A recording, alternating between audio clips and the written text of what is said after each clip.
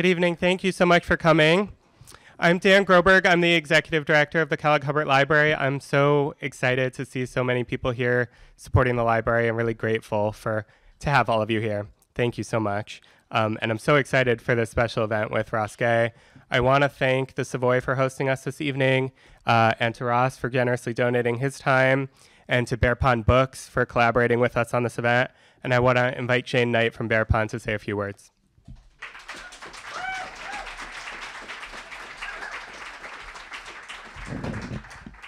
Oh, y'all, butter and paper is an occupational hazard. Hi, it is a delight too. Yes, absolutely. Um, I want to thank Ross Gay for jumping in to help out our little town. I'm pretty sure that most of you here tonight had your hands in the sludge back in July, jumping in day after day. Bear Pond is so happy to be slinging Ross's books again, and we are more than happy to pay this opportunity forward to our beloved second home, the Kellogg Hubbard, a place where all are affirmed, welcomed, and safe.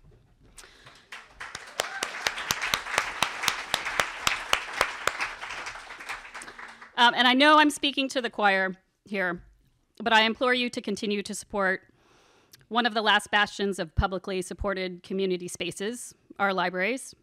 We all know that book bans, the hijacking of public boards by fascists, and the willingness of elected officials to defund these publicly held goods are tearing down our nice things across the country. So please continue to show up, get dirty, ask questions, run for things, and find out what awesome organizations such as For the People are doing, which helps train and empower citizens to protect and defend our beloved public spaces. We actually can have nice things, and we do when we work together. So thank you for showing up and enjoy.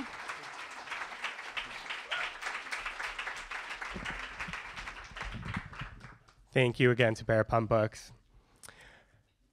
As Jane said, at a time where libraries around the country are under attack, this community has always been here for the Kellogg Hubbard. With your support, we're proud to be a bastion of free thought, free expression, and lifelong learning. When the library flooded in July, we immediately jumped to work to say, how can we serve our community? But even more remarkably, you immediately jumped to work to say, how can we serve our library? 160 volunteers showed up with 24 hours notice on a hot, humid day to carry heavy, wet, oil sodden books. I know a lot of you are in the audience, and I'm so grateful to all of you. More than 600 people have donated since the flood to support our recovery efforts. And we were able to start curbside services just a week after the flood because of you. We were able to reopen the building to the public just a few weeks ago, thanks to you. And we'll rebuild a better, more resilient library, thanks to you. The road ahead is long and expensive, and we don't expect to have our building fully restored until at least the spring. But with your help, we look forward to continuing to serve as a third place in our community, as a safe and welcoming place where all are welcome. So thank you so much.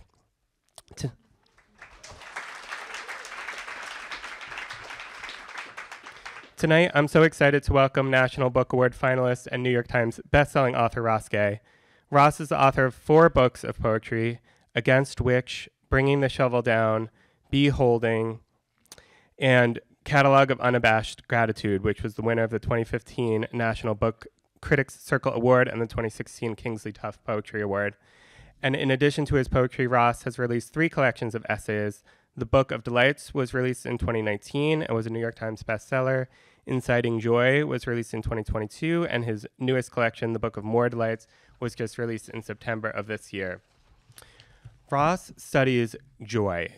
And with all the darkness in the world right now and all the challenges facing Montpelier and central Vermont after the flooding, joy is something we could all use right now. Time magazine wrote Ross's delightful observations of everyday life are a reminder that joy is all around us. We just have to be willing to look for it. Without further ado, please join me in welcoming Gay.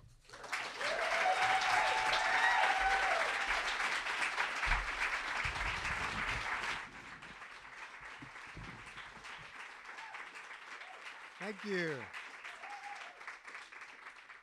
How are you all? All right. Good to see you. Thank you so much. And thank you for having me here. Um, I was saying to Jane, uh, who said, "Oh, is this your first time to Montpelier or the bookstore?" And I said, "No, I've been here like several times. You know, I come through anytime I've been in Montpelier, pretty much. You know, I go to the bookstore and the library. God damn, it's beautiful in there. Yeah, the Calder um, prints upstairs. Jesus, if you haven't seen it, there are like four, five or six of these Alexander Calder prints um, that are just gorgeous. God damn. And also the seats. I don't know if people do this, but the seats that have the, you know, the the windows that have the things that are big enough that you can kind of take a nap in them if you wanted to. Anyway, yeah, I'm glad to be here. I'm really, really glad, and it's amazing to hear hear about all the, you know, when we take care of each other. It's really beautiful. Um, let me read this um, first essay that is, it's actually about, um, it's about a bookstore in um, Philadelphia that I adore, but I feel like it's for both um, the bookstore and the library. I'm going to read it. Um, and it has this long title. It's called Also, what a cool theater. God, yeah.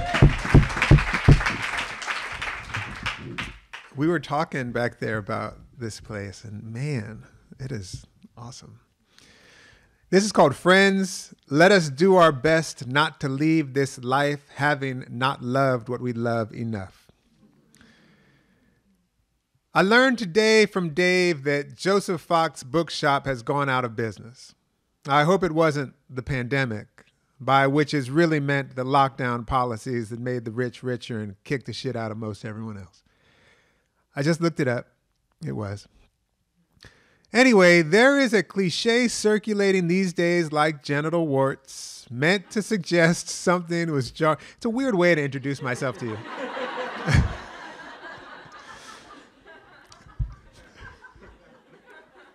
We're all adults.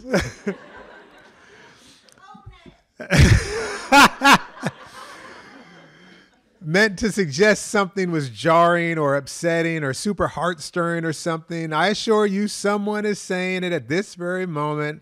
I hate that I too am about to say it, but the news that Joseph Fox had closed felt like a gut punch. When Dave said it, I actually put my hand on my tummy and said, ugh, and no, and why? To which Dave shrugged and made a sad and sympathetic face. He loved the store too. Joseph Fox was a beautifully curated bookstore for my tastes, which needn't be yours. Lots of essays and nonfiction, lots of poems and novels, and nearly whole runs of certain presses stuff. I think a bunch of the New York Review books, that whole Melville House last interview series, I'm pretty sure I remember. Probably some of those Petite Penguin classics. And a bunch of the Stout Archipelago bricks, books with which to make a house that won't blow down. They had a gardening section where I once got a seed saving book, and an art section where I got a book of Anni Albers' work. It was small, the back room was very close to the front room, and the hallway between them was often packed, encouraging lots of excuse me's and after yous and such, which are themselves among the products, the gifts of the small bookstore. We put those after yous and such, those let me grab it for yous and such, in the satchels of our hearts. Though it was a little place, a packed little place, I meandered, I got lost, I got found, I got lost again. I guarantee you there were nooks I had not yet discovered.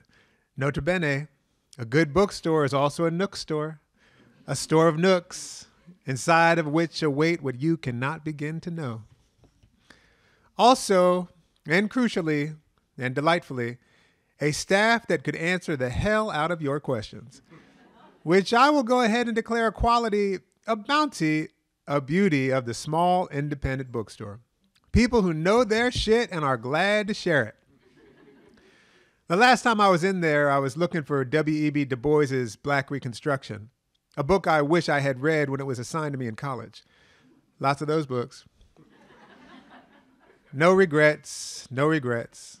When I asked, the 20 something woman working behind the counter hopped off her stool and walked directly to the floor to ceiling shelf across the way and pulled the Du Bois from the shelf, placing the tome, and it's not too much to say, my life in my hands. Again and again, they do. These booksellers, these librarians, these guides, these friends smiling. Here it is.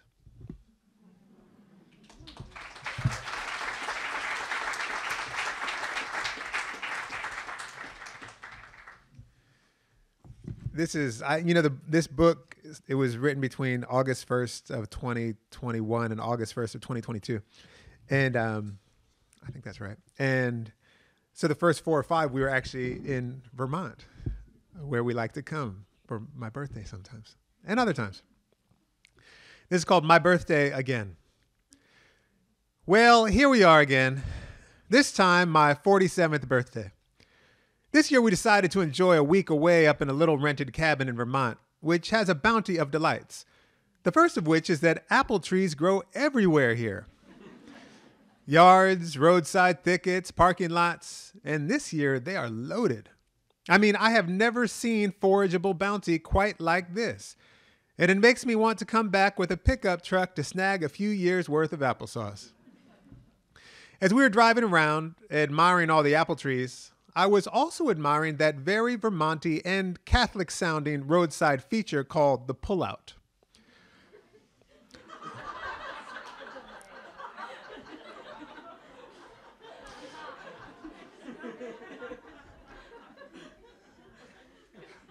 also called pull offs, they are common here as air room enough for a few cars to pull over and look down at the beautiful river roiling through the boulders below, or overlook the valley with the first embers of fall in the leaves. Shortly after we pulled out of a pull off, we pulled into yet another of the delights of Vermont a roadside farm stand. This one peopled by people, though sometimes they're peopled solely by a box in which to slide your money.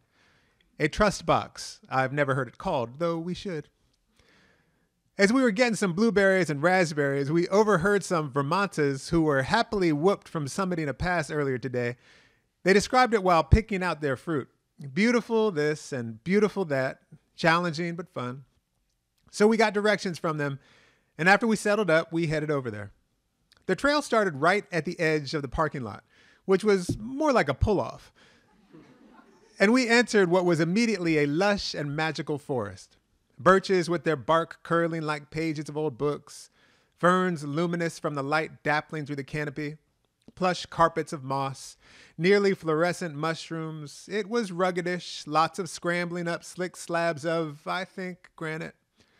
We were both sweating pretty good within the first half hour or so, and Stephanie stashed her sweatshirt behind a fallen tree. We passed through what felt like several ecosystems, and when, about two hours later, we finally approached a sign that we knew in our heart of hearts was going to tell us 100 feet, maybe 50 to the summit. It said one mile to go. We'd only eaten a couple handfuls of berries. I'd only brought a not all the way full quart glass jar of water for both of us. and then that's like someone said, Ooh, you're not from here. And as we were contemplating reaching the top, a couple hikers approached the same sign we were looking at. They both had on big packs. One looked to be about mid 60s, the other late 20s or early 30s. We learned they worked together and were practicing for a longer trip on the Appalachian Trail, with which this trail intersected. The older of the two was the boss. She had hiking poles, and the younger looked a little bit coerced the boss asked us which way we were going, and we told her that we were deciding whether or not to go the final mile, pointing in the direction of the summit. Upon which she looked us up and down, noting, I guess, our attire um, t shirt and shorts, and she asked us, or maybe actually she was telling us, You know, cotton's a killer, right?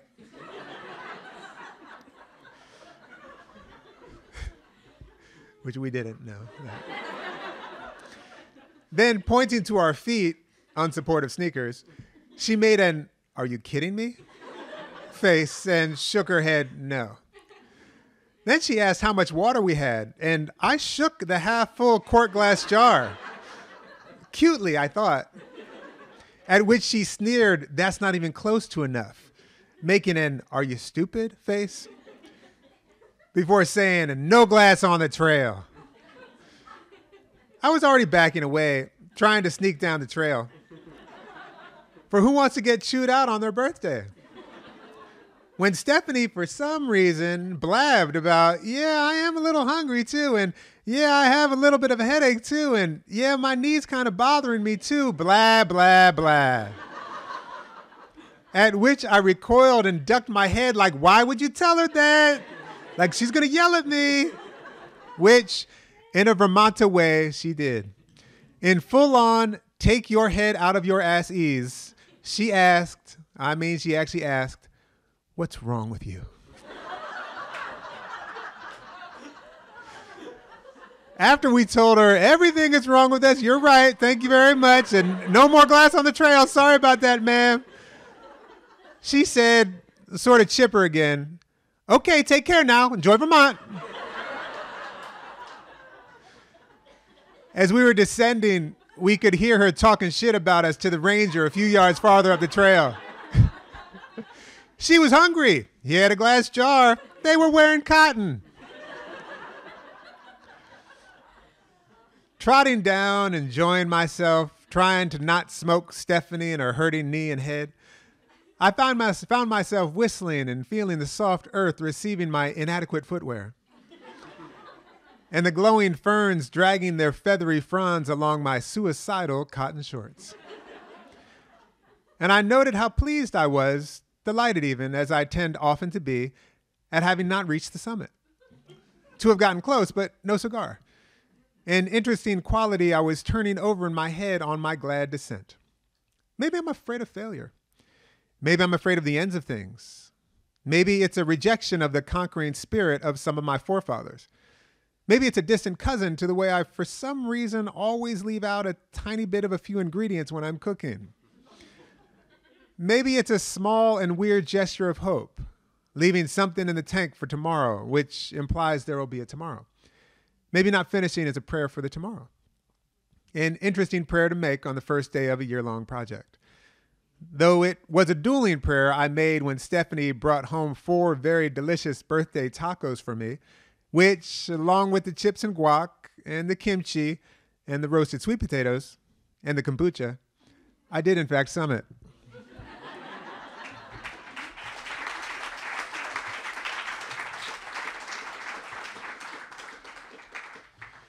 that was Mad Taco that we were eating. Yeah. So good. Yeah. this is called The Wide Berth. Today, as I walked on a narrow shouldered road, very distracted by the abundance of forageable food, more rogue apples, raspberries, choke cherries, a whole eight foot wall of thimbleberries. It's like Willy Wonka's out here. These Vermonters driving in their Subarus or pickups. I got to just tell you a thing about um, this book. so, you know, like um, if you're I think probably any writer, but a writer like me, you really depend on a uh, uh, type. What is it called? An editor, a type editor. What's it called? A copy editor. You really depend on them because they know their shit, and like they know all the grammar and all the stuff like that.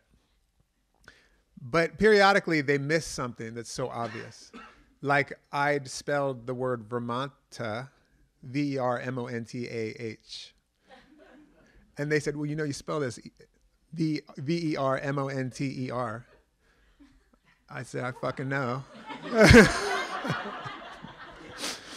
it's a joke.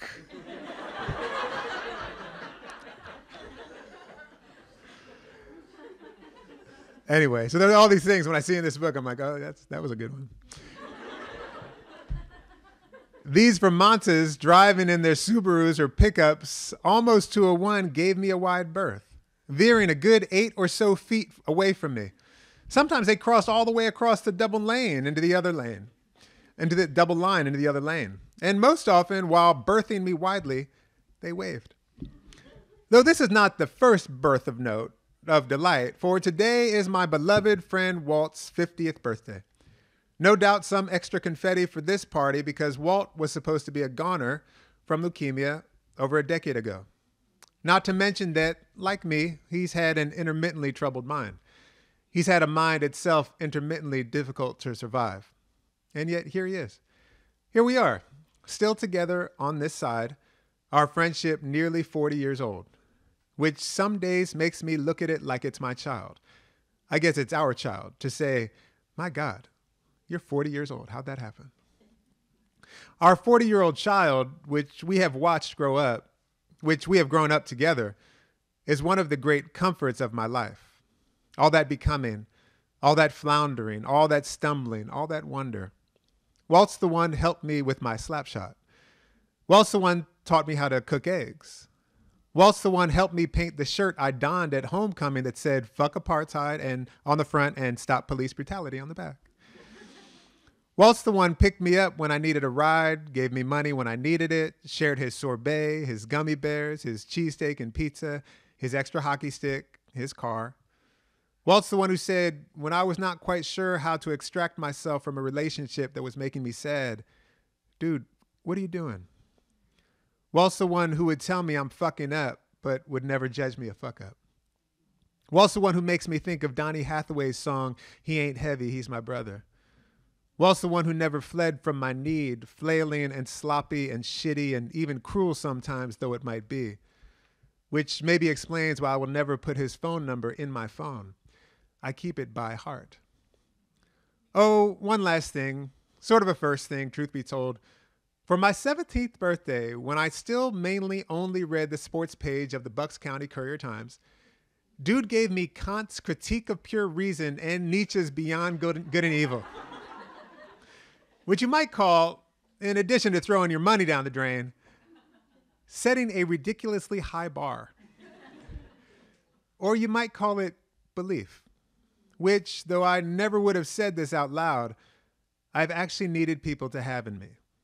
I have needed to be, we need to be, believed in, which, in a certain kind of way, is like being birthed. And just like his gummy bears and hockey sticks, I guess I'm taking Walt's birthday because when Walt was born, so too was I.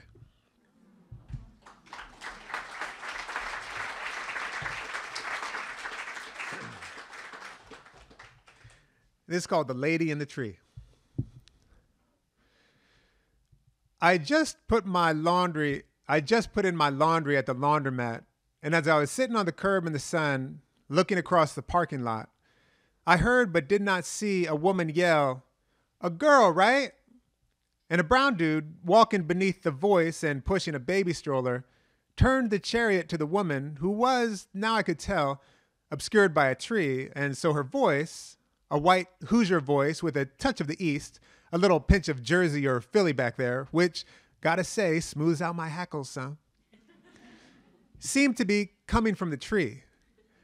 This brown dude, who pretty sure was not a black dude, which I think I gathered, stay with me, from his footwear. a certain kind of sandal, very thin, possibly leather, with a loop over the toe, was darker skinned than me, although I am, in common parlance, in many parts of this country anyway, though the world overall an entirely different story, a black dude. Race is like God. It'll do whatever you need it to do. Dude turned his baby girl to the white woman, shouting to him from up in the tree something about Halloween, which, what do I know? A, a thousand assumptions a second. This dude ain't trick or treating. And she said, something, something beautiful, something, something precious. And he seemed not to be saying anything, though I could see him looking up into the tree, nodding, a somewhat reticent or guarded smile. And I heard from the tree something like, hair ties. And then the brown dude nodded, his baby girl still tilted on her rear wheels. And then it was quiet for a second, and the brown dude rested the carriage back down on all fours before taking a few steps to his right, where he bent over to pick up whatever the woman threw down from the tree. I'm guessing some hair ties for his beautiful, precious baby girl. After he grabbed the hair ties, he waved to the tree with the same hand that was holding the gift. And the woman in the tree said something like, Okay, baby, as the man turned his carriage and baby girl to carry on their way. Immediately after which, she hollered at this big, burly white dude in a camo hat leaning against a phone pole across the street, You okay? Which he didn't quite look. But he smiled too. I could see it beneath his camo cap, and he nodded and gave the tree a thumbs up. And this is called The Lady on the Porch. This is one of those days the book isn't big enough. Because in the intervening 45 minutes, the white voiced lady in the tree has spoken to literally every single person who has gone by. every single one, which is up to about 13 if I was counting right. My Nana always loved to sit on her porch, regardless of where she lived, probably because she loved being a black voiced lady in the tree dispensing goodies and advice and compliments and critiques and hair ties and such. My Nana loved talking shit at the world. Nana also liked to sit on the porch, she said, probably because her last name was Porch, from her third husband, who, my mother reports, wasn't great, though I never met him. I knew her first husband, my father's father, who I called Papa, and her second husband I met once at their son's funeral. Keith died of a heart attack at 35. When I was having some heart stuff and they did a family history, I was like, nope, nope. And then I called my brother to double check and we remembered, oh yeah, Uncle Keith. And when I said, you know, I had an uncle, should I put that down? They said, yeah, you probably should. Nana's second husband, Mr. Turner, like Keith, was dark, was tall, dark brown, very handsome, with pretty hands. But about Nana's third husband, Porch, the one I never met, my mom's beef, like my nana's incidentally, was that he was always playing golf instead of working. I have no beef with not working, though I do have beef with golf. it sounds like Nana is maybe at last truly on her way. She's 96, and all three of her siblings, aged 99 to 90, are alive. In a nursing home in Youngstown, no longer able to get out of bed, very tired. You can let go, Nana. It's been a long time. About a decade ago, when I was visiting her in her high rise old folks' home across from a Cleveland clinic, in addition to flirting hard with some man in the elevator, you got a car?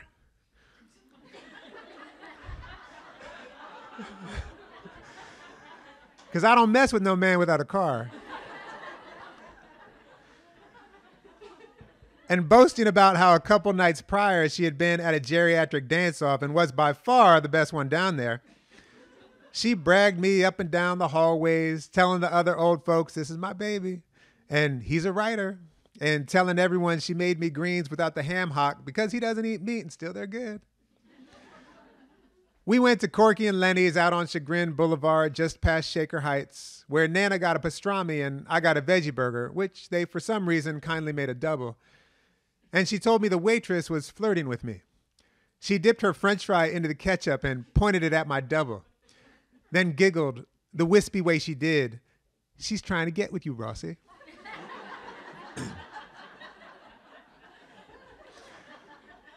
Takes one to know one, I guess. we came back to sit on her sixth floor porch overlooking the parking lot where she was growing peppers and tomatoes and greens in pots. She was telling me about her mama's garden. Just like I am incapable of calling my father's mother anything but Nana, my Nana was incapable, it seemed, of calling her mother anything but Mama. Before she excused herself for a second and came back with a bag of goodies from what she called, I'm pretty sure, the Hunger Center. Inside was a cheap electric toothbrush, she grabbed two. Some store brand toothpaste, she grabbed two some beans, and some spaghetti.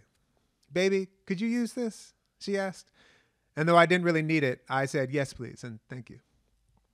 Oh, but I also wanted to mention that after listening to the lady in the tree for a while, I went back in to change my laundry and noticed the third of my three machines was empty. I figured the attendant maybe moved my clothes somewhere, but when I asked, she told me she didn't know and then went into detective mode. She eventually figured opening a washer a few doors down and seeing some granny panties in there. Aha, that lady must have taken your clothes. We laughed together, considering that granny finding my clothes, which, though I am shedding some pounds through these times, they ain't gonna kill me like that. I'm still six foot four, and my clothes on that lady will be very big. My clothes will make that granny a baby. Lord, I believe in almost nothing anymore except these fleeting sweetnesses, these dime a dozen precious sweetnesses, these sweetnesses that seem to me the organizing fact of our lives, or maybe more accurately, the reasons to stay alive. These people in trees and on porches and in laundromats taking my phone number for when my clothes came back. And while I was giving her my number, a woman in a tank top and jeans standing guard next to her washer, good idea, reading her phone, who I'd noticed glancing up periodically at our conversation, called out, looking down still at her phone but smiling, That's life in the laundromat.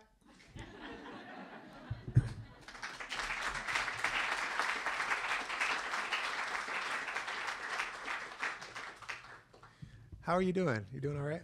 Okay, okay. This is called Daisy Returns. the cat the cat we cohabitate with common parlance our cat though it's obvious enough that we belong to her is sitting atop my legs which are beneath a handmade old-timey quilt liver spotted with coffee stains as bedclothes in my proximity always are and probably always will be. You are who you are. I once told my friend sebastian when he got eggs on his shirt again Daisy t- takes off on the regular because there have been dogs and another cat who intermittently visit or live here. One of those dogs, a recent addition to the family, is batshit, as we say. And to any little creature, squirrel, bunny, puppy, cat, she lunges and screams. I mean, she screams like she's being scalded or having her skin peeled from her or something. And though it seems to me the scream is murderous, I guess it's possible it is a scream of curiosity and collegiality. Either way, Daisy's not hanging around to find out. Daisy's foundational inquiry, her primary and abiding question, is whether or not the coast is clear, which, because we live in a neighborhood of cats, it's often not.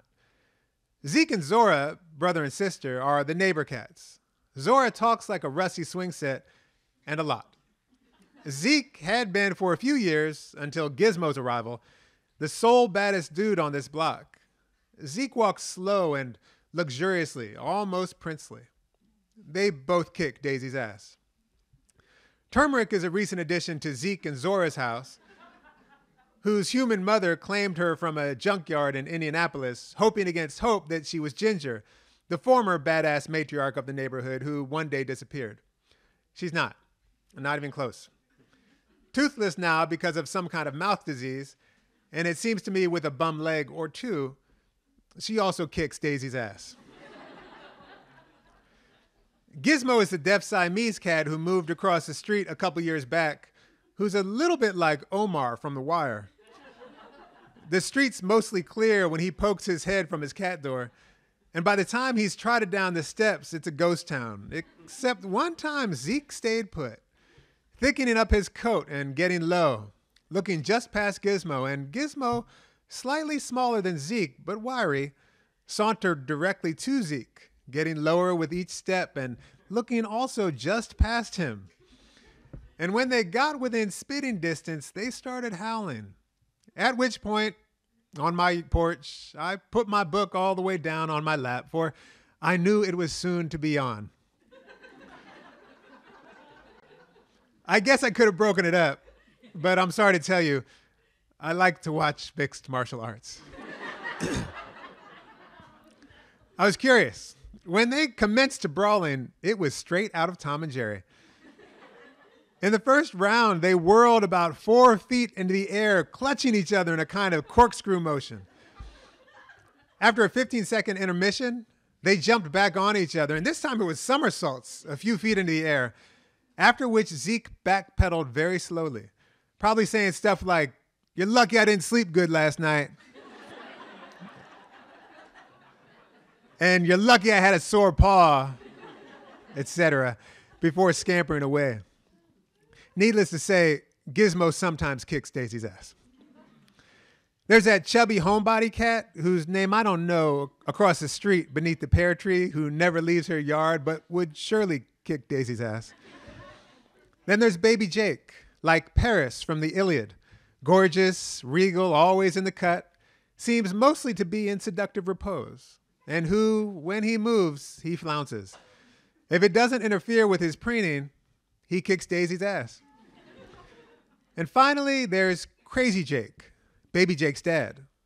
Sometimes we'll see them catching up in the alley. A true wildcat with matted fur who crawls almost like a snake and sleeps under our garage in a dugout with a woodchuck. Crazy Jake, uh, you don't believe me?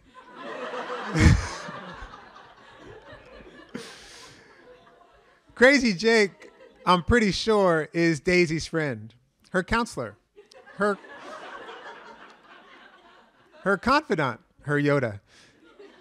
A few times I've seen them lying on the same wall, no hackles, working things through. All to say, Daisy's often on edge. Though I've not had my ass beat like she has daily, I have, for other reasons, at times in my life, been all brainstem all anxiety, all darting eyes, and every sound coming for your throat. And so, how lucky it feels to have her snuggled down, relaxed, safe on my lap, purring so loud and so hard I can feel it into my chest. And when I take a sip of coffee or turn the page of my book and so stop petting her for a second, she puts her hand on my wrist and looks into my eyes as though to say, Please don't stop. A plea I feel so lucky to heed.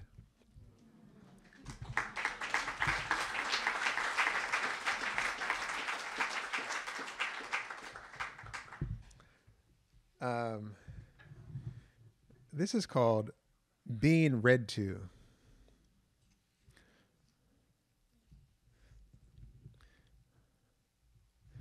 In what would prove to be a somewhat lazy day, a day we would neither seize, nor attack, nor crush, nor murder, nor decapitate, nor defenestrate, but simply live languorously and loungily. Stephanie drinking her tea, me my coffee, in bed in PJs past noon, and in no big hurry to fix that, which makes the Puritans in us whirl in their graves, hastening happily their conversion into soil and worm shit and flowers. From our sloth, Stephanie started reading Eduardo Galeano's book, Soccer in Sun and Shadow, which is one of my favorite books, and I think now hers.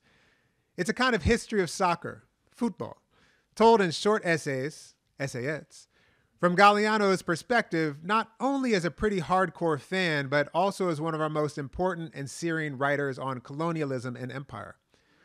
Also, there are drawings. This is the second or third time we've read Galeano's book, having come to it first stumbling around the public library. Browsing is the word, wandering, wondering for some guidance on a book of epistolary basketball essays I'm working on with a friend. I'd read and taught some of Galeano's Memory of Fire trilogy and his Book of Fables, The Book of Embraces, but I still need to, or should, read his Open Veins of Latin America, which I understand is one of the most important books I'll ever read. Per that last sentence, that should. How lucky, even if it sometimes prick you with shame, should is one of the cudgels of shame, especially should have even if it has compelled you to pretend to the contrary, not yet to have read even near everything by your favorite authors. Thanks to your having been a shabby and half assed student, there are so many books to look forward to. I was reclined with my coffee on my chest as Stephanie flipped back and forth through the book reading essayettes, which, though Galeano's book moves chronologically, it invites. It might be the brevity of the essays, or that they mostly stand alone, or just that reading a book not front to back can be a delight. I recently realized, reading the poet C.D. Wright's book, Cooling Time, an American Poetry Vigil, that I really love to read books, maybe especially a book of poems or poem adjacent stuff, back to front. Vignettes of favorite, favorite players, stories of miraculous games, how Brazil became Brazil when they finally started playing their black players, among whom was Pele. And slightly longer riffs on the World Cups, which Galeano, being Galeano, historicizes, makes events in and of and with the world, never missing a chance to describe, often with comedic flourish, the powers that be, teasing, for instance, that Castro's revolution is any day, this starts in 1962, to be overthrown. There is also a slight nostalgic, nostalgic bent to soccer and sun and shadow, a longing for the good old days of the game. Footnote. Nota bene. Although sometimes the good old days is code for when women and black people couldn't really vote, etc., sometimes it's really not. Sometimes it means when I liked the soccer, or the pizza, or the buildings, or the unions, or the price of college, or the Roe v. Wade. More.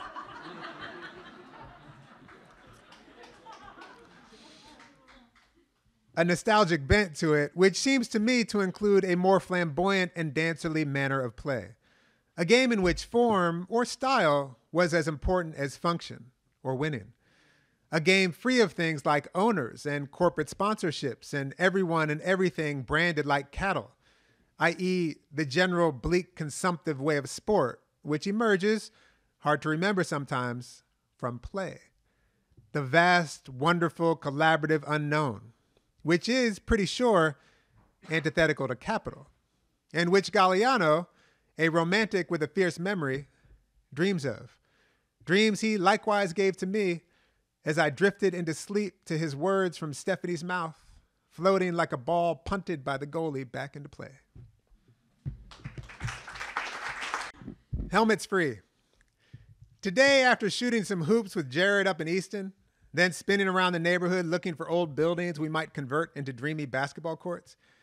We got a couple smoothies at the public market, and past us whooshes a parade of kids doing wheelies on Northampton Street, swerving sometimes between cars to keep the wheelies going. Wheelie gangs, Jared called them, pointing and smiling, before asking if we have those in Bloomington, which we do not. At least not in my neighborhood, which seems to have few children and where there are children, if they are out of your sight and not at a lesson or practice or some kind of improvement session, they wear two or three helmets. and probably elbow pads to boot. The children in my neighborhood, so many of the children these days, seem to wear wrist guards and tracking devices to, and take a water bottle and their cell phones to get the mail. my God, it filled me up this parade of helmetless children veering their precious little lawless brains through traffic on one wheel with nary a parent to be seen. Now that gave me hope.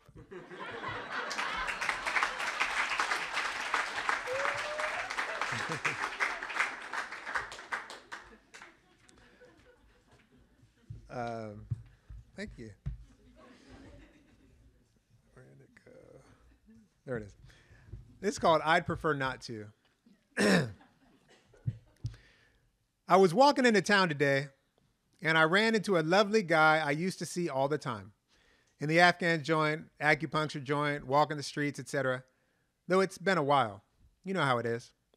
He was walking his charmingly aloof dog, a petite squirt who is sniffing around in one of the prettiest gardens in town while inside the house, about 10 feet away, were a couple dogs crashing against the windows and walls to get out here so they could murder this little aloof fella who happened to be peeing on their peonies. When I asked how it's been going, implying how it's been going these past couple years, the shit show, he shrugged and he smiled sort of puzzledly because his business, which is called PR, did not take a hit like many other businesses did. In fact, in the midst of the crisis, it kind of took off, he said, in that sort of I'm happy but I know I shouldn't be way that is so common these days. He explained to me that PR is no longer only for humans, but also for a bunch of acronyms I did not understand, though I knew enough to know to get nervous knowing the acronyms exist. the one I remembered was NFT, which, when he said it, I interrupted him to ask, What's that stand for? Non fungible token, he told me. Whatever that is, it evidently needs a PR campaign. then we got around to Megan Thee Stallion, who, if I understood it right, and it's very likely I didn't, because I was nervous, panicking a little, though trying to keep up, is doing a tour where I think the audience, I suspect this means thousands and thousands of people. I'm guessing Megan Thee Stallion isn't playing small venues these days will all put on virtual reality. I'm sorry, I mean VR helmets. Um, I guess together. I guess that's what some people these days are calling together, apart together, together apart, you know, however they say it. Anyway, they're doing PR for that VR show too, which I think meant maybe this was the flicker in his eyes, the gleam, that PR no longer needs there to be a there there. At which point you can start printing your own moolah. I know nothing about the financial system, but I have seen The Big Short about six times. and I'm pretty sure the great innovation in there maybe it was derivatives, maybe it was bundled mortgages, maybe it was CDOs, maybe I better go watch The Big Short a seventh time was inventing out of thin air a mechanism, a great golden way to make a small handful of people rich. Side note, but no biggie, also making many large, many, many handfuls of people homeless.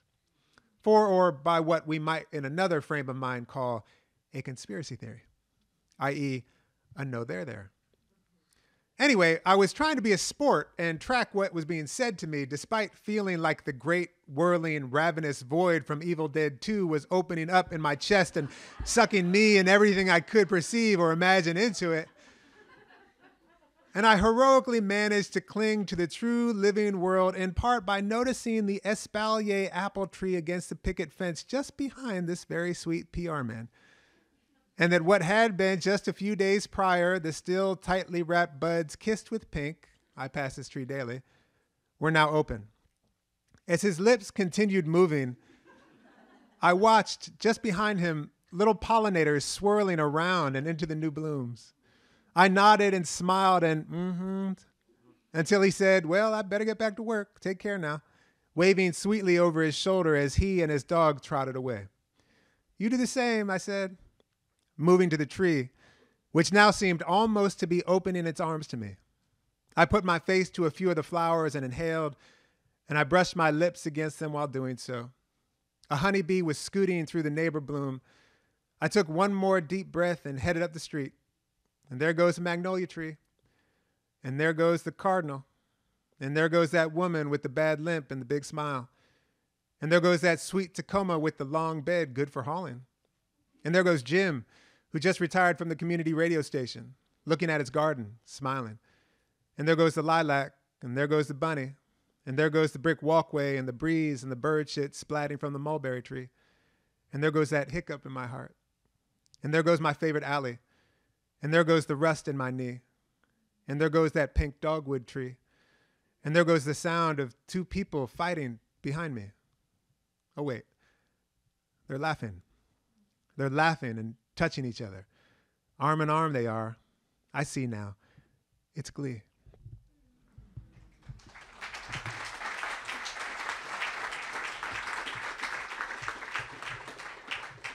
Okay, one regular length one and one very short one. Is that okay? Okay, okay. If you tell me to stop, I'll just stop. that would be so rude, though.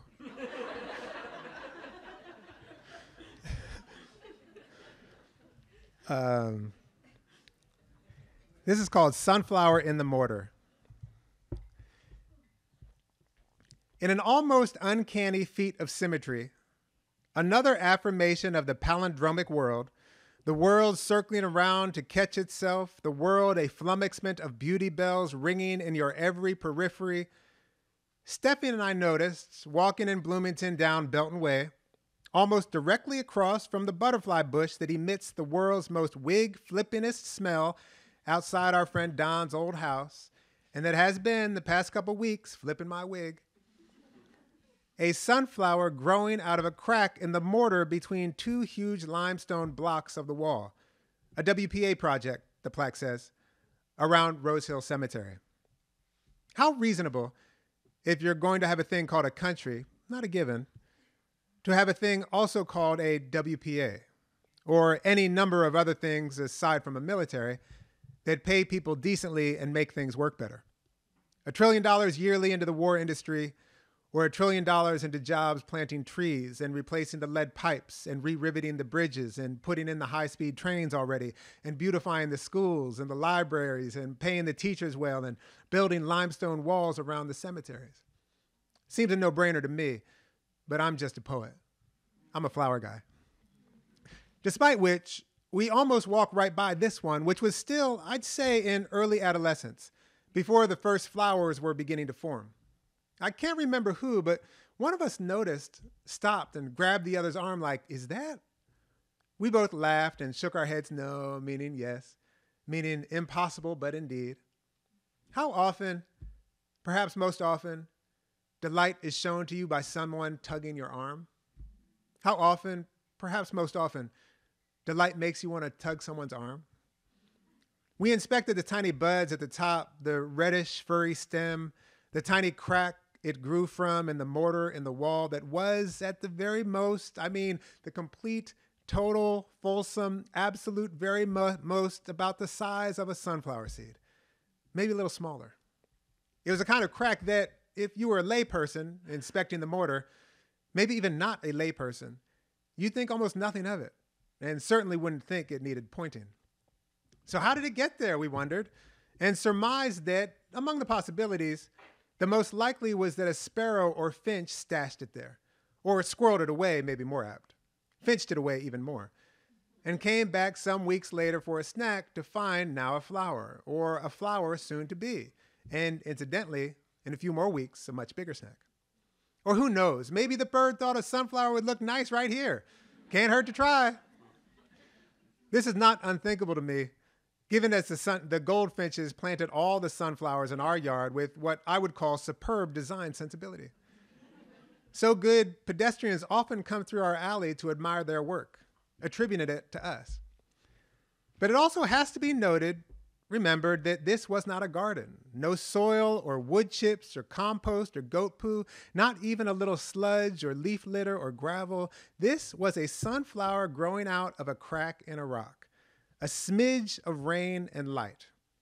If you're thinking it's a little bit of a cliche, all the obvious and potent meanings, survival despite the, despite the harshness, resilience, making a way out of no way, the fugitive seed finding a patch of survivable earth, yeah, yeah, I guess so. but more, I'm thinking the unlikely collaborations by which we come to pass at all, any of us, the trillions and trillions, the literal trillions and trillions, to the bottom of which we will never, Lord, let us get. I'm going to stop there. Thank you.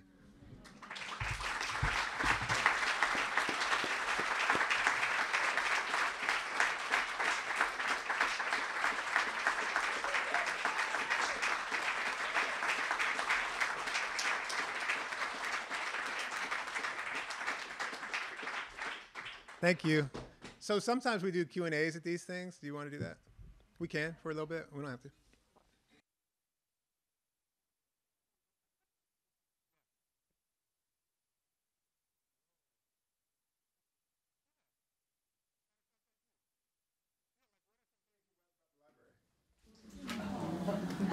So I'm gonna brag. I my family was one of the first ones to walk in when they reopened, Well, and we shared like before we went in, we shared donuts with the librarians outside, Oh, and man. like immediately they were like, "We got these new books that you're gonna, you guys come check out." And then I saw it inciting joy, uh, and I got that, and Oh, it was just man. like, it was like I'm tearing up now thinking about Yeah. it. We come every week, and I, yeah, I love it. it's magic. Thank you for that. Yeah. Thank you. Yeah. The staff, the community. I went to the library today to pick up a book on hold. They didn't ask my name. Really, they know. They know. They Yeah. know the people. They know the folks that go there and what you read. And Yeah. Wonderful. Yeah. Yeah. When you all were talking about the like the function that a li- public library in Bloomington, our public library is so important. It's just like yeah, it's a place to gather, it's a place to do stuff, it's a place to rest, it's a place to all these things. You know, um, so crucial these public spaces. Someone's hand was up. I was gonna say that, um, the library in, in Bloomington reminds me of the library here. I first loved the library in Bloomington, Oh yeah. And from there, I learned to love the library here. Have you Yeah. ever seen the library in St. Johnsbury? No. You better get over there. Really? Why? What's it like? What's it like? Describe it. What's it like? What's it like? It's all hand carved, Oh. um, little steps going up into Woodwork. bunnies Oh, and really? books. and Spiral There's stairs. an uh, Whoa. art, uh, Athenaeum in the back. oh man. It's pretty amazing, with a huge Bierstadt at the back. Really? Okay. Yeah. I will. Thank you. Yeah. Patrick Leahy went to this library here as a kid. Oh, really? And still supports it strongly. Oh, sweet. It's beautiful. Yeah, yeah. So I, I just want to make a comment about what I've experienced listening to you. I have not read you before. Um, I can't think of a better time to have heard you.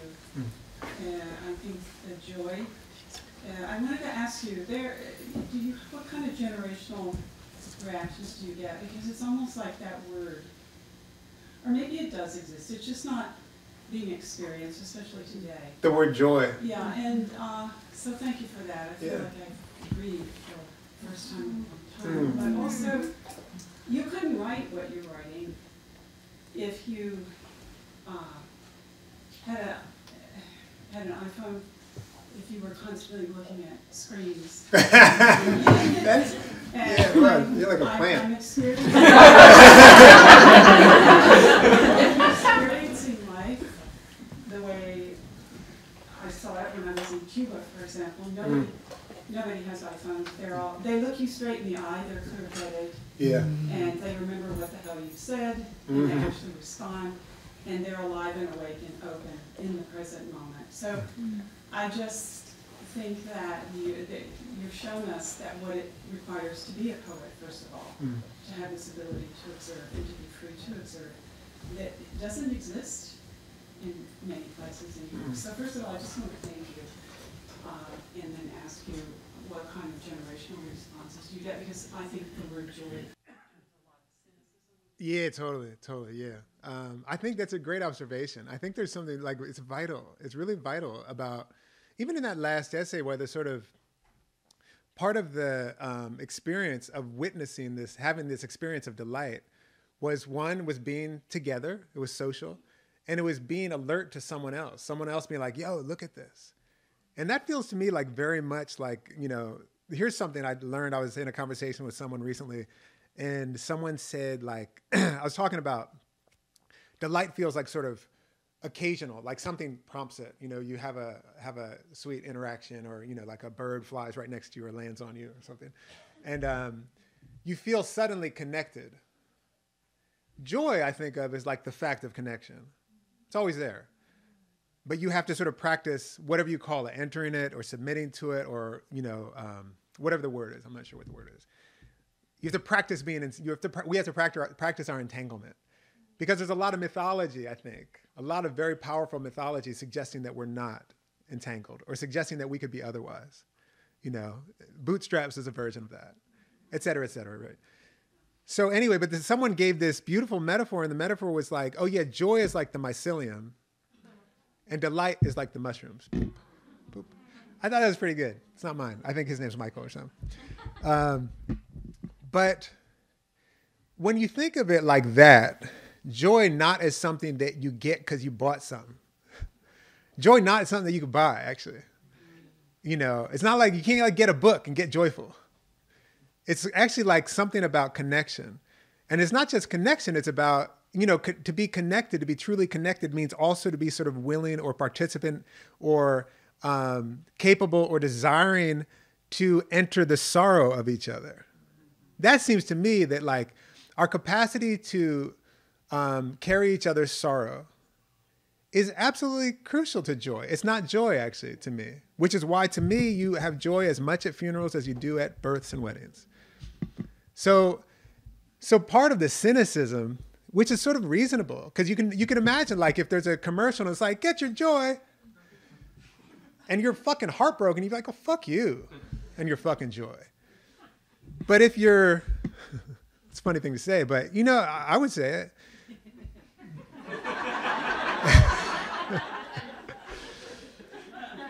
but if you're like, oh, this is actually the practice of acknowledging my own and uh, each other's sorrow, our changing, our transformation, our heartbreak, then it's like not, it's not like um, light work, you know, it's not like kids play. It's not, it's the opposite of what might make one cynical. It's deadly serious because it, actually because it's about death and dying, you know. So that's one thing that I think, and I think I I, I have heard people, you know, I've heard older people. I mean, in the beginning of this book, I have a- a little story about no, in the beginning of the Inciting Joy book, a woman who seemed to probably be in her 70s, and and she was responding to the book catalog of unabashed gratitude, which is a book of poems, and she was like, "I didn't know you could write about joy." You know, just about to cry, saying saying that to me. And then I've had, of course, young people who say their teachers have said things like, "Joy's not a serious subject to write about or think about." Yeah, it's heartbreaking. It's awful. Um, so anyway, I think it's across the generations. I don't know. Um, um, I'll just say that. And what was the second part of your question?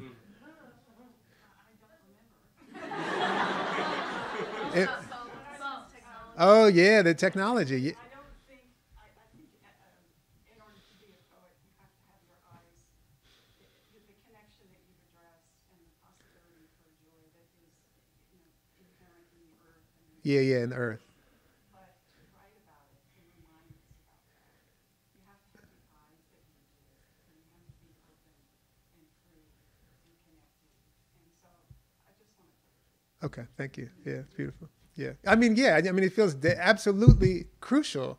Again, um, given all of the sort of um, the admonitions to do the opposite, in fact, to be afraid of one another, that we have to like really practice being with each other. Like, I know my classes are going well when I walk into them because you know this. Like, any of you are teachers or like hang around with like whatever you go on the fucking subway or whatever. It doesn't matter and you walk into a place and most everyone is on their phone. You can walk into a classroom and it's like everyone's on their phone, you know. You know class is going good, you're doing something right in your semester when people aren't looking at their phones. Or if they are, it's like they're playing music and they're like playing around with each other, you know. Um, but where they're actually interested in being with each other. And I think that is, I think the desire and the capacity to be with each other is actually something that we have to practice you know i think we have to practice that and cultivate that and honor and celebrate it you know like this like this. This is so beautiful. The fact that we're actually all together in this nice space you know that's a big deal you know? Thank you yeah. Can you talk a little bit about your writing process as it relates specifically to joy? Like, are you in a car and you see something, you like pull over to pull out, and you're like, I must write about this right now, or do you do you use a voice memo? I'm, I'm asking this uh, selfishly. But, Yeah. Know, what, what is what is your writing process as it relates specifically to joy and the delights that you that you experience? It's a great question. Um, I think it is a little bit like you know. So I'm writing a book. Um, don't hold your breath. Um, but I'm writing a book called Book Tour, and because I'm on a book tour, and um, um, and you know, so I was sitting in the library, and I was observing the things that I was talking about. I was observing the sort of like the those beautiful like what do they call them like the relief things around the friezes in a library. It's beautiful, you know. Or like again the windows. Like I love I love those windows. How beautiful they are. And also like another thing I was sort of thinking about a public library that is like actually a kind of a, a real kind of public space, a communal space. You can hear inside of it, but also outside of it, kids yelling it's a good sign, you know? And I was just sort of talking about that. So the answer to your question is basically I'm just noting stuff. I'm just noting stuff sort of regularly. That's kind of my my process. Um, if I was driving, I might pull over. I might just note it down. You know, um, I used to drive a stick shift, and that would be a little bit more hairy. But um, but yeah, I just sort of practice. That's part of my writing practice now, especially now because I've started writing these delights books and other things that feel like so much about a kind of daily noticing practice to inform what I'm what I'm trying to work through. Um, yeah, I think it's I think it's like that. Yeah, does that help at all? Is that useful? Yeah. Thank you for your question. I read some article online, or an interview that you did. I can't remember what the source was right now, but um, I think you said something about like, and I don't know if it's changed with what you're working on now, but like, just you're writing like just sitting down to mess around, to, like, play, like, Yeah. of it that way. And I I Yeah. sort of love that. Like, there's lots of people who are, you know, religious. I sit down at this time and I do this thing and I Yeah. do it for four hours. Yeah. I like that, especially with poetry. I think it's like the, the playfulness of it, like exploring. Yeah, totally, totally. That was I have an essay in here. I sort of talk about this, but the the experience or the learning how to make my writing experience um, really about play.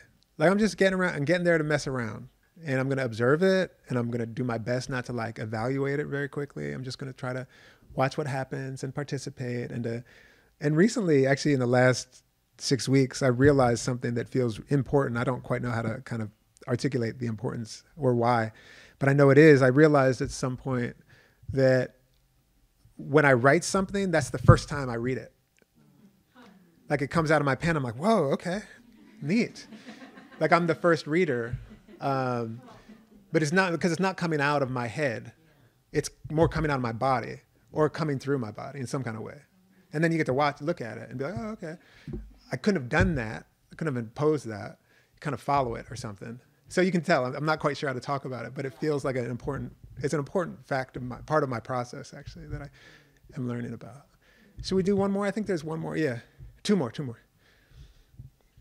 Um, I'm not sure exactly how to a- ask this, but, um, and I don't know how, how long have you been writing? I'm 49. I probably started when I was like 20. Okay, so we all know that you're Ross Gay, the joy guy, right? So I'm curious about when you started Yeah. and today, up Yeah. to today, like, what's the spectrum of, like, did you have to find joy? Was it always there? Um, you know, like in terms of, like, if you look at you compared to other poets that are writing, or, um, you know, it's a, it's a perspective. Yeah. And it comes out of consciousness. So the consciousness that is you has a particular take on what's going on. So did you have to, like, was it always sort of there? Did you refine it? Or did, you know, or was there something, some events that brought you to it? I think in my 20s, I was losing my fucking shit. I was losing my mind. And I was cracking up. And I was exposed many things, many things, many things. You know, what I was reading, what I was being, blah, blah, blah. but I was exposed to like, you know, writers and teachers like Pema Chödrön, actually. You know, like I remember that someone gave me the book, The Wisdom of No Escape, when I was having a very hard time. And, um, and then from her to Chogyam Trungpa Rinpoche, if I say that right. Um, and then I was just rereading that the Thich Nhat Hanh book, Being Peace. And I was just sort of thinking, oh, right, there's so many things here that I read in my 20s that deeply informed a kind of perspective. And, and you know, like, you know, I think Trungpa Rinpoche says something like, when you're part of the practice or something, I can't, you know, but it, part of the practice is to smile with tears in your eyes. I'd read that in my 20s and I kind of forgot that I had read it.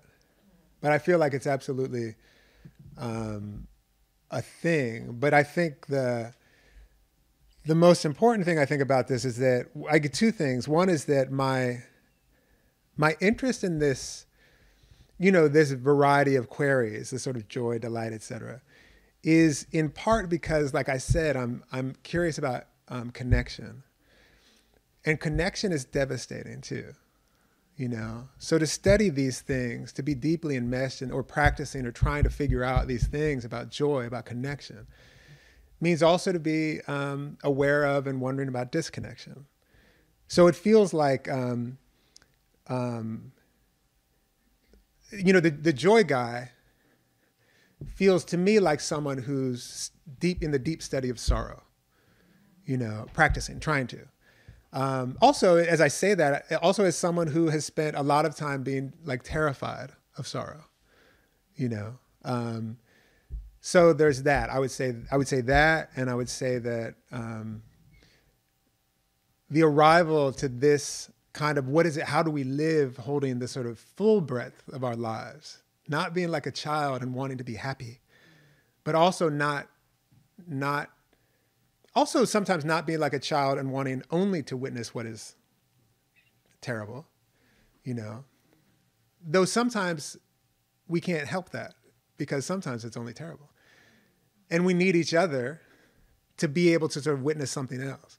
So there's something about there's there's something about this sort of um, I mean I do I think of like all kinds of utilities, but I think of like a kind of political utility to this. You know, that part of the thing is that part of the practice is to witness each other's heartbreak. And in the practice of witnessing each other's heartbreak, whether or not you say it, I have a firm belief, I could be wrong like one out of a million times, but I have the firm belief that you are heartbroken.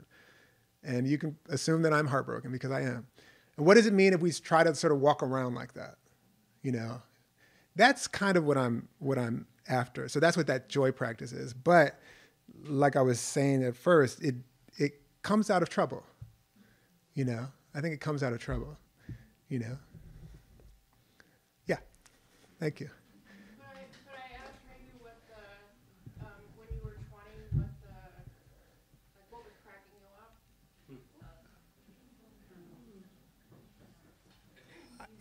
up? You can totally ask. I was, I mean, and I can, and I'll say like basically, I'll say this, without getting deep into it. I'll say this. I'll say that I think it could be many things, you know, many things, but I think one of the things was that I was terrified of how connected, in fact, I was. I, I think I was terrified of the fact of, the, of entanglement. I think there's a way that I was terrified of the fact of entanglement. And I'll just leap to this other thing, which is like how sorrow has been terrifying to me. You know, I write about this, so it's not like sorrow has been terrifying to me, in part because I think to be sorrowful means to be connected. It's the evidence of connection, you know. And I feel like I've spent a good bit of my life, for whatever various reasons, some of them I think about like kind of masculinity training sometimes, of like not wanting to be moved and not wanting to be movable. Um, but I'll leave it at that. Yeah, thank you. Here's one, and then I, and then one more. Yeah. Yes. What advice do you wish now, looking back, that you could give yourself when you were falling apart in 20, or to all the other young people who are falling apart, or old people? Um, I'm so shy about advice. but since it's to myself.